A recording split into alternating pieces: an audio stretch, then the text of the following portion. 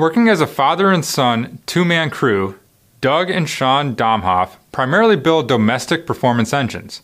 Pontiacs, Chryslers, small block and big block Chevys, and high end dirt late model Ford engines make up the bulk of the work at Domhoff Racing Engines in Harmony, Pennsylvania. Domhoff Racing Engines opened in 1976 and the machine shop opened in 1982.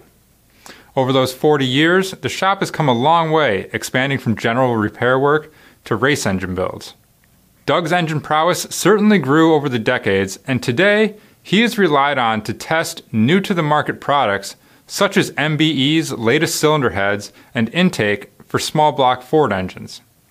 Domhoff recently built this 436 cubic inch small block Ford, and we're going to give you the details in this episode of Engine of the Week. This video is sponsored by PennGrade, Precision Performance PennGrade, always the original green oil. And by Elring, leading technology, leading service. Hey everyone, Greg Jones here for Engine Builder. Today we're showcasing this 436 cubic inch small block Ford engine built by Domhoff Racing Engines. Shop owner Doug Domhoff says he'll work on anything as long as it's not a diesel. And this engine certainly fits that bill. The engine work started by reusing the existing block, crank, and rods, but from there, everything else was brand new, including the new to the market cylinder heads and intake manifold from MBE and CID. Here's Doug to tell you a little more. Uh, it's a 436 small block, Dart aluminum block. Uh, it's a Bryant crank in it, uh, Carrillo rods, CP pistons, total seal rings. Got a bullet cam in it,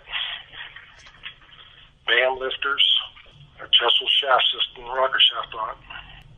And the heads are an MBE. The heads and intake are done by MBE, uh, which is CID casting. The MBE heads and manifold are the very first ones used in the country. Domhoff worked out the cylinder finish on this engine with total seal piston rings, and it features standard clearances throughout. Cylinder heads and intake are the first ones out in to be diamered and run. I could say CID induction systems. Uh, him and MBE work together on these things. They, they designed the castings and uh, programmed the machine and for the porting. Oh, it's got super good flow numbers and everything on for, for the port volumes. They were they were looking for a, a new head to replace the old uh, Roush Yates head and this is what they come up with. With all these bells and whistles, Domhoff says the 436 cubic inch small block Ford will churn out a little more than 2 horsepower per cubic inch, which, if you do the math, puts it close to 900 horsepower. When the build is all finished up, this engine will be running in the Dirt Track Super Late Model series. Well, that does it for this episode of Engine of the Week. A special thanks to our sponsors PennGrade Motor Oil and Elring Das Original. And remember, if you have an engine that you'd like to see featured, please email me at gjones at babcox.com. See you all next time.